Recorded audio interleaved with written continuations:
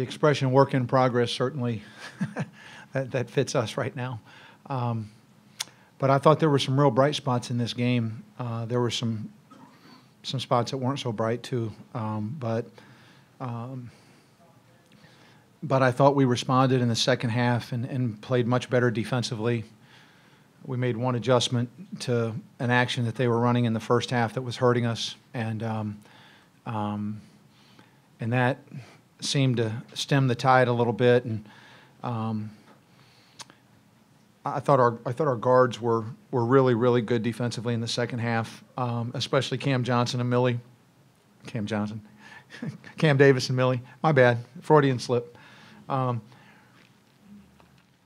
Cam and Millie, and um, um, but um, you know to hold their two guards the, the way we're able to, and and um, you know again for them to shoot 23 percent, 24 percent second half was was really big for us. Obviously, the offensive rebounding was uh, their offensive rebounding was an issue, but um,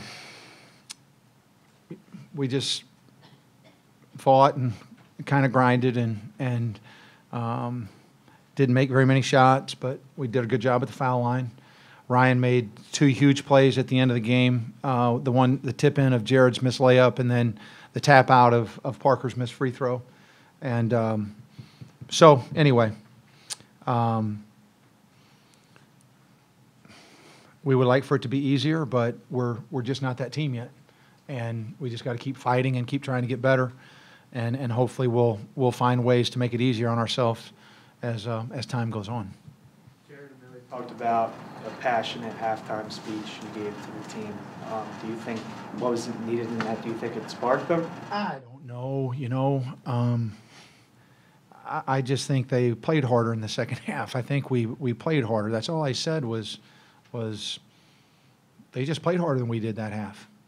It's not any scheme thing. It, they just played harder. They played with more energy than we did. If we have somebody who come in here and play with more energy than us, then we should be okay with, with getting beat. But um, I don't I don't raise my voice too much with these guys. I, they don't. It's not what they need. They, they need they need support and confidence and and um, and I and I I mean I raised my voice, but it wasn't. It was it was more passionate than it was, you know, screaming at somebody or something like that. And um, and and it wasn't even. I mean, believe me, I, I've got a lot more in the tank, but um, um, but they responded. They came out and played, and, and our bench was into it, and and um, uh, I was able to get some guys a few minutes tonight that um, hadn't hadn't gotten you know hadn't hadn't gotten to play a little bit, and so uh, that was that was kind of nice, and uh, so again we, we've we've got a long long way to go, but I, I like their their coachability. I like their attitude and and uh, the way they respond, and and uh, and I was really really happy for Millie. Um, Millie, Millie, Millie played his hiney off tonight, and, and I, I was real proud of him for that. Is it Coach Cage who was the kind of lay into them guy at halftime? I think that's who they said really sort of got on them, challenged them. Um, yeah, I mean, yeah, he was.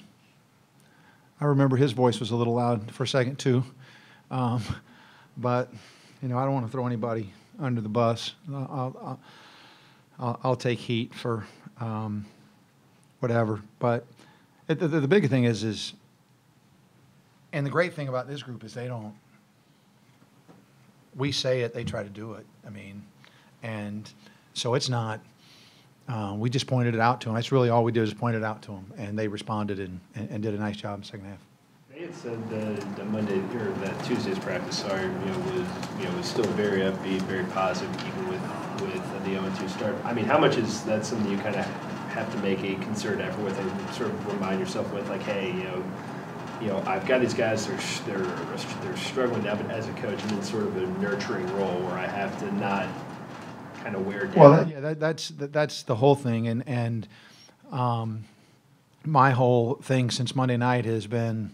I told him before the game. I said, "Listen, we're we're the better team, but the best team doesn't always win, and that's a lesson that you learn a lot of times sooner than later in college basketball. And we have to go out and play the hardest. And, and um, so, yes, I'm, I try to give them confidence. I try to support them. Um, and again, if, if, if I was facing resistance, then I, I would have a different tone. But there's no resistance.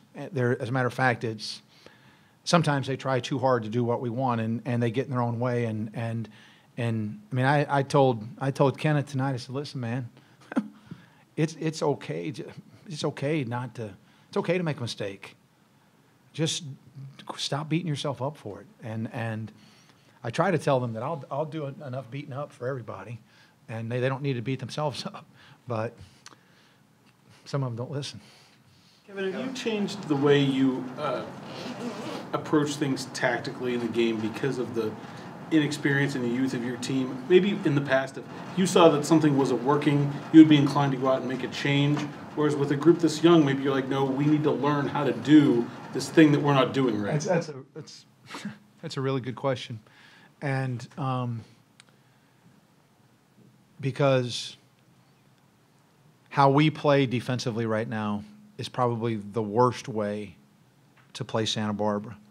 So, and I knew that. I, I could see that Monday night. I'm watching the game film after we lost the overtime game. And I'm, I'm thinking, okay, this is why. And, and so now I have choices. I can throw a press in front of our defense. I can throw a zone in, you know, whatever. And and it's tempting because you want to win the game. And then you start making short-term decisions and whereas what you just said, we need to learn the fundamentals of, of what we're trying to do before I, I mean, yeah, I, I mean, I don't want to say that I bail them out, but before I try to fix problems for them. That we have to learn, it's kind of what we did in the second half a little bit. All right, we started fixing problems. And when we started fixing problems, then they shoot 24%. And that's a much better lesson than me doing something the day before the game that we could have pulled off. We could have pulled it off and maybe made a difference. But to kind of bail them out and to protect them, if, if you will. And again, I've got to put them in the best position to win. And it's a fine line as a coach. That's why it's a really good question. There's a fine line as a coach of, okay, we got to learn what we, you got to learn the fundamentals first. And, and yet, obviously, the objective is to win the game. So it, it's, it, it's a battle that you fight, or it's a battle that I fight with, a- with a team that's this young.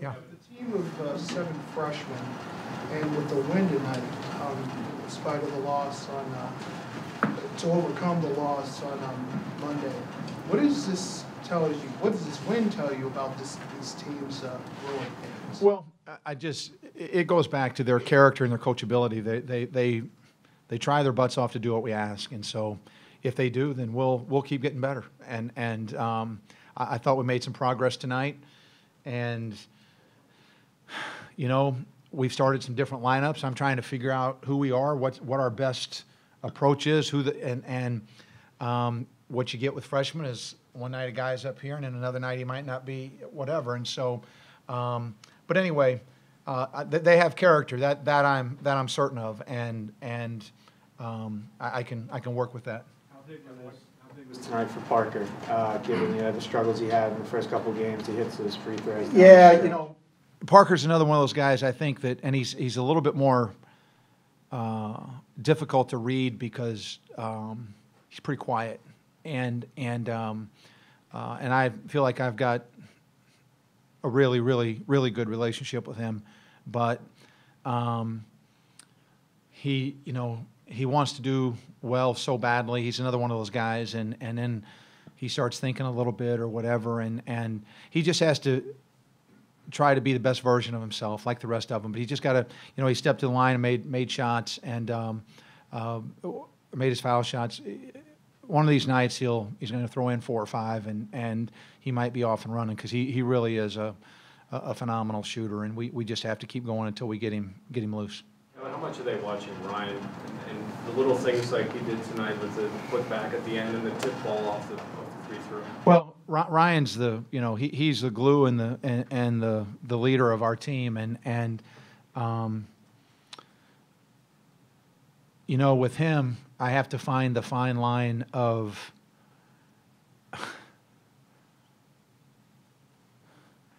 I, I just wish that, I wish he thought he was as good as I think he is. And I'm not saying that he doesn't think that he's good. I mean, he knows he's good, but he doesn't think that he's as good as I know that he is. And and that's that's a hard thing as a coach for me. I, I I'm, I'm I try to try to figure out the ways to to kind of push the button with him and and um, um, because you can overkill it and you know make a guy go like this and um, so uh, I, I just I, I, I, don't know. I, I don't know. I, I- I've got to uh, he, he's he's playing with too much or at least appears to me it looks like he's playing with too much um, stress and not enough fun. He needs to go out and have fun. He, he can he can play and he just needs to go out and have fun. He needs to stop worrying about whether he leads us in scoring or rebounding or, or anything else. He got to go out and be the best version of ryan and if he is then our team will benefit from it. And and i don't know and you know again maybe i've put too much pressure on him. Maybe somehow i've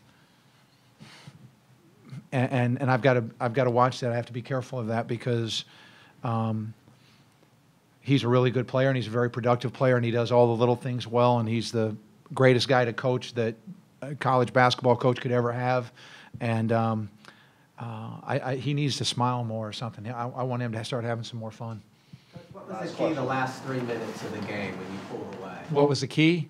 Get, getting getting stops. We, we, we made our free throws and got stops, and and um, you know they we got up six. Jared, We we ran. We kind of took some time off the clock and ran a little spread ball screen, and and Millie just made the easiest, most perfect play. He comes he comes in off Ryan's ball screen, gets in towards the lane, and just hooks it back over to Jared. Jared's open. He knocks in the three, puts us up six. So, you know, now you're one stop and, and the game's probably over. They come down and they they bang in a three, and um, but then what I liked was we had we had poise, so we're trying to get the ball into Millie on the out of bounds play and press offense. They called timeout. Millie couldn't get it. Parker runs up there very aggressively, like he really wants the ball, which is great to see for a freshman, because some guys are trying to hide from it. Then Parker runs up there and gets it then figures out, okay, I need to bring it up, brings it up, gets fouled, makes his first free throw, misses the second one, and here comes our senior again. Bang, he tips it out. We make two more free throws. We're up six. They miss. Game's over. And it's poised at the end of games. It, it, you, that's. I coached some teams to where the margin when the game started was we could win big or lose close. That was kind of our margin. Those are fun, by the way, just in case you're wondering. We could win big or lose close. That, that, the, the range was somewhere in there. That's not the range for this team. If we win, we're gonna, we're probably gonna win a lot of close ones when we win. And so we have to be exceptional at the end of games relative to our execution, making our free throws, taking care of the ball, securing rebounds and things like that. And I thought that was, when we got it into that position, it looked like we knew what to do, and I, I was, I was kind of proud of that.